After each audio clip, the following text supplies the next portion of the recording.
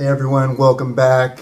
This is the review for my short par 4 delivery April 2016. Just got back from vacation and uh, this package has been sitting on the doorstep for a few days, so let's get right into it. So, just to recap, this is month number 8 for me right here. Uh, they deliver every month.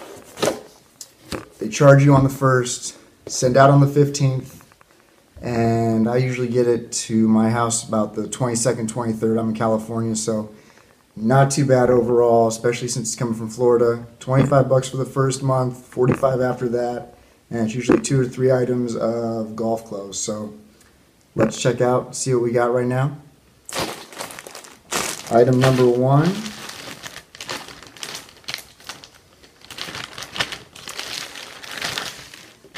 Like an Adidas Climacool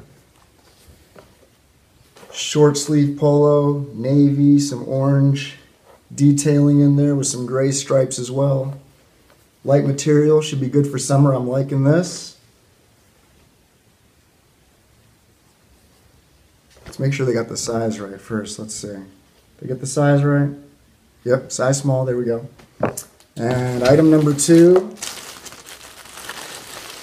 very happy about this one. So, one of my favorite brands, I'm actually wearing the Polo right now from one of the earlier deliveries from Short Par 4.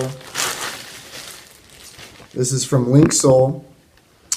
And looks like we have a pair of pants in a light tan. Very nice. Liking the material for this. I'll definitely have to try it on. We'll take a picture and add that to the video as well.